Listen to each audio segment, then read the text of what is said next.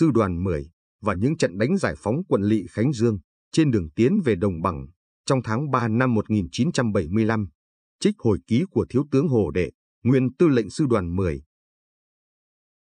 Những ngày cuối tháng 3 năm 1975, chiến trường miền Trung Trung Bộ sôi động hẳn lên, chấp hành chỉ thị của Bộ Chính trị, Quân ủy Trung ương và Bộ Chỉ huy Chiến dịch, đại quân ta từ trên cao nguyên chiến lược vừa được giải phóng, như những dòng thác lớn ào ạt đánh xuống, phối hợp với các lực lượng vũ trang địa phương giải phóng các tỉnh đồng bằng ven biển. Phần lớn lực lượng chủ lực của quân đoàn 2 ngụy và hầu hết các lực lượng địa phương quân khu 2 đã bị tiêu diệt và bị tan rã, kéo theo nhiều thất bại liên tiếp ngày càng lớn hơn đối với chúng. Tổng thống ngụy quyền Nguyễn Văn Thiệu cho đến ngày rời khỏi dinh độc lập chỉ còn một lối ra lệnh duy nhất là tử thủ và tử thủ, tử thủ phần đất còn lại trước ngày 20 tháng 3, tử thủ phần đất còn lại ngày 25 tháng 3. Sau thất bại ở chiến trường Tây Nguyên năm 1975, hầu như quân ngụy không còn hành động nào giành được thế đánh chủ động để đối phó với các cuộc tấn công liên tiếp của lực lượng vũ trang ta. Đối với ta, quyết tâm của Bộ Chính trị Trung ương Đảng ngày 18 tháng 3 năm 1975 là kiên quyết giải phóng miền Nam trong năm 1975, cũng có nghĩa là nắm chấp thời cơ giành thắng lợi liên tiếp trong năm 1975, đạt tới thắng lợi cuối cùng. Đây là sự thay đổi rất quan trọng. Quyết tâm đó cũng thể hiện rõ bước ngoặt có ý nghĩa to lớn trong chiến tranh đối với dân tộc ta. Tài thao lược của đảng ta thể hiện từ quyết tâm ấy, trở thành nghệ thuật ứng biến trong chiến tranh nghệ thuật nắm thời cơ đột biến chiến lược trong chiến tranh. Trên hướng mặt trận trị Thiên Huế và Đà Nẵng trước đó đang là hướng đánh phối hợp chiến trường với Tây Nguyên, giờ đây đã chuyển sang đòn chiến lược tiến công chủ yếu bằng sức mạnh binh chủng hợp thành với lực lượng quân đoàn 2, quân khu trị Thiên, quân khu 5. Liên tục phát huy thắng lợi đã giành được, chiến dịch Tây Nguyên chưa kết thúc mà chia quân ba hướng theo trục đường 19, 21 và số 7 tiến xuống phía nam quân khu 5, giải phóng các tỉnh miền Trung. Chiều ngày 18 tháng 3, chúng tôi nhận được lệnh số 75 của Bộ Tư lệnh Chiến dịch cho biết có tin lữ đoàn dù số 3 sẽ được điều từ Quảng Đức về hướng này, giao nhiệm vụ cho sư đoàn 10 nhanh chóng chiếm quận lỵ Khánh Dương, chấp thời cơ chiếm đèo Phượng Hoàng, giải phóng tỉnh Khánh Hòa. Trên cũng tăng cường cho sư đoàn 10 trung đoàn 234 cao xạ, thêm hai đại đội pháo binh D74, đại đội 8 xe tăng thiết giáp, trung đoàn 7 công binh. Khi tiến vào Khánh Dương chỉ huy luôn cả trung đoàn 25 độc lập, trong tay sư đoàn lúc này có điều kiện tập trung cả ba trung đoàn bộ binh 24-28 và 66 và trung đoàn pháo binh 4. Lịch sử đã giao cho sư đoàn tiến ra biển cả. Không khí đơn vị lúc này như chảy hội, mọi người đều nhận thức được bước ngoặt lịch sử của đất nước trước những thắng lợi to lớn trên chiến trường mà ít nhiều mình đã có công đóng góp. Từ đơn vị chiến đấu đến các cán bộ, chiến sĩ chuyên môn, hậu cần, kỹ thuật, ai cũng ra sức chăm lo làm nhiệm vụ của mình một cách tốt nhất. Các đơn vị đến phối thuộc cũng tự hào được phối hợp với sư đoàn 10 mà trước đây họ từng gắn bó. Hầu như trong đơn vị không có một vụ nào vi phạm kỷ luật chiến trường và kỷ luật chiến lợi phẩm. Nguồn thu chiến lợi phẩm của địch đều được nộp lên trên, khi cấp trên cho phép mới được sử dụng. Cán bộ đại đội, trung đội nhắc nhở chiến sĩ và làm gương tốt cho chiến sĩ noi theo. Bộ tư lệnh sư đoàn cùng chung một nguồn vui, vì sở dĩ sư đoàn có được tình hình như hôm nay là vì xây dựng được đội ngũ cán bộ chủ trì tiêu biểu, Họ không những dũng cảm trong chiến đấu, sáng tạo trong lãnh đạo, chỉ huy, mà họ còn làm gương cho cấp dưới noi theo. Sức mạnh của sư đoàn là ở đó, bài học kinh nghiệm cũng là ở đó. Tôi ngẫm nghĩ, quên sao được cán bộ và chiến sĩ đại đội vệ binh của sư đoàn và các công vụ phục vụ cơ quan, hàng ngày bận rộn chức trách chuyên môn, lại còn tích cực học tập theo kế hoạch huấn luyện. Thêm vào đó quá trình đi chiến đấu, hầu như chỉ huy sở sư đoàn phải mỗi ngày di chuyển một lần, khi chỉ huy sở di chuyển tới đâu, thì sau 1 đến 2 giờ cơ quan đều có đủ công sự ẩn nấp để bảo đảm liên tục chỉ huy và sẵn sàng chiến đấu. Điện thoại hữu tuyến, điện đài vô tuyến của tiền phương Bộ Tư lệnh Chiến dịch cùng vô tuyến điện của Bộ Tổng Tư lệnh đang giữ mối liên lạc chặt chẽ với sư đoàn, làm cho tôi càng hiểu rõ cấp trên đang sát sao theo dõi hoạt động tác chiến của sư đoàn. Những tin tức miền Bắc xã hội chủ nghĩa và những thắng lợi dồn dập trên các chiến trường càng thôi thúc chúng tôi cố gắng với mức cao nhất để hoàn thành nhiệm vụ được giao.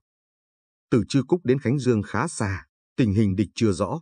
Vì thế ngay chiều 18 tháng 3 năm 1975, sau khi gặp Ban Chỉ huy Trung đoàn 66, chúng tôi đã giao nhiệm vụ lập chi đội phái đi trước để tiến vào Khánh Dương, có nhiệm vụ tiếp cận quận lỵ Khánh Dương nắm địch, khảo sát địa hình, bắt liên lạc với Trung đoàn 25 của mặt trận đang ở khu vực phía đông bắc quận lỵ. Chi đội phái đi trước của Trung đoàn 66 được tổ chức gồm Tiểu đoàn 8 Trung đoàn 66, Tiểu đoàn cao xạ 37 ly của Trung đoàn 234, một đại đội pháo binh 105 ly của Sư đoàn, đại đội xe tăng thiết giáp 8 chiếc của Trung đoàn 273, do đồng chí Võ Ngọc Phụng, tham mưu trưởng Sư đoàn, cùng đồng chí Nguyễn Đình Kiệp, Trung đoàn trưởng Trung đoàn 66 trực tiếp chỉ huy. Huyện Khánh Dương nằm phía đông dãy núi Trường Sơn, gắn liền với đèo Phượng Hoàng, trên bình độ 500 mét so mặt nước biển. Phía tây là một triền núi thấp độ cao 600 đến 700 mét, gắn liền với dãy núi Chư Tô cao 820 mét, chạy dài 941 mét.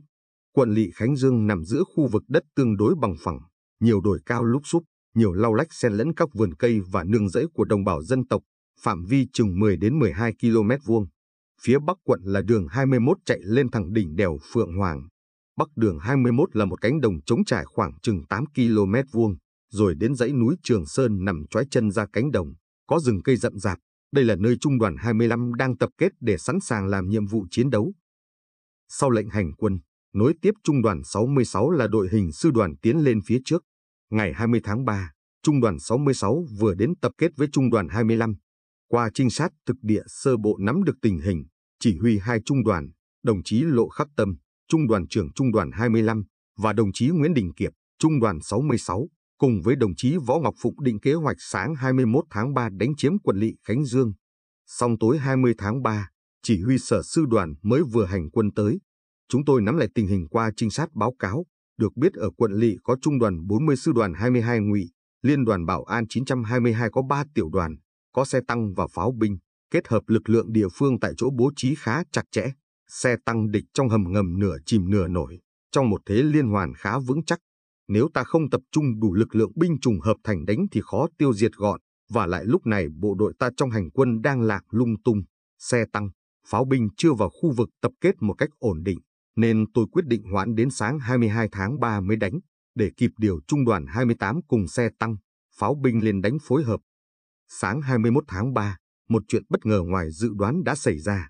Trung đoàn 40 của địch cho hai tiểu đoàn từ quận lỵ đánh lên phía bắc gần nơi trung đoàn 25 của ta đang tập kết. Phi cơ và pháo binh địch oanh tạc và bắn liên tục. Cao xạ ta vừa hành quân vừa đánh trả máy bay địch.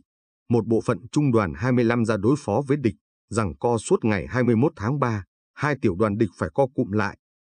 Tình huống lúc này đang có lợi. Nhiều người nêu ý kiến, nên ra lệnh diệt ngay hai tiểu đoàn địch rồi phát triển chiếm luôn quận lỵ. Nhưng Bộ Tư lệnh Sư đoàn dứt khoát theo kế hoạch sáng 22 tháng 3 mới đánh, đánh phải tiêu diệt gọn. Ngày 22 tháng 3, theo đúng kế hoạch, sau khi hoàn chỉnh bố trí chiếm lĩnh, trận đánh chiếm quận lỵ Khánh Dương bắt đầu.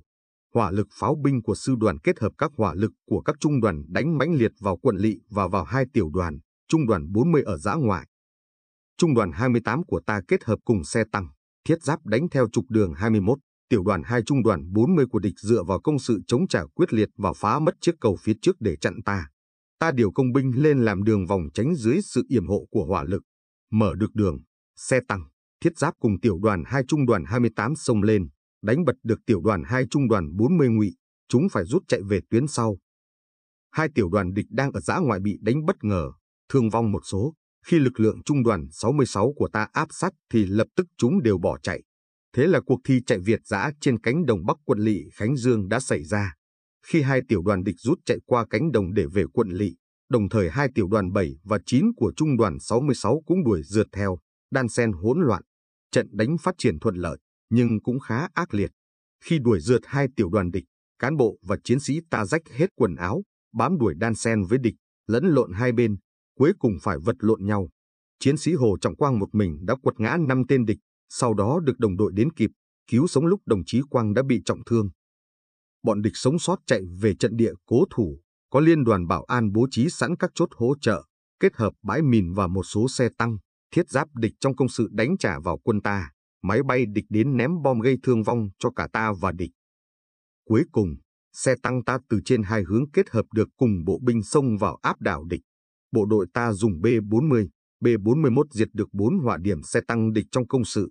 Thế là tiểu đoàn 2 trung đoàn 28, kết hợp với tiểu đoàn 7 và tiểu đoàn 9 trung đoàn 66, đồng loạt tiến vào chiếm quận lỵ.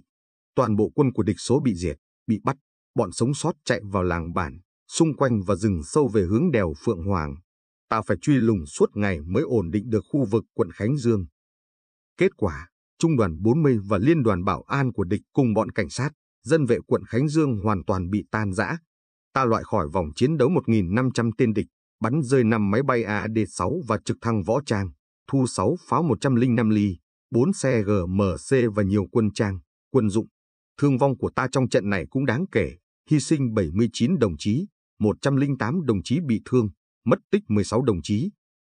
Qua trận đánh chiếm quận lỵ Khánh Dương, một lần nữa, ta rút được kinh nghiệm tác chiến hiệp đồng binh chủng tiến công trong hành tiến, hiệu quả của sự kết hợp xe tăng với bộ binh, kết hợp hỏa lực pháo binh cao xạ với hỏa lực trực tiếp của bộ binh. Trân trọng cảm ơn quý vị và các bạn đã quan tâm theo dõi chương trình của chúng tôi.